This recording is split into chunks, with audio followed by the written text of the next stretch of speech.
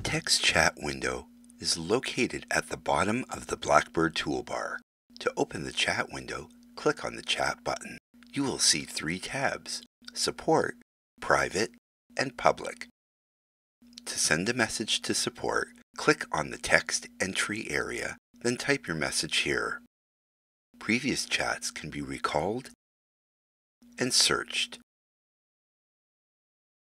If you make a typo, there's a built-in library for spell check. Right-click to view the library suggestion. Hypertext links may be sent to you for tutorials or published purposes. Double-click on them to launch them in a separate browser tab. The private group chat allows chats between you and your team. The usernames appear at the right-hand side.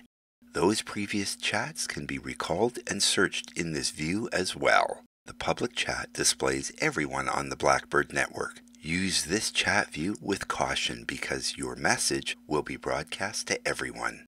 When you receive a new chat, the chat button will light up orange for support and green for private.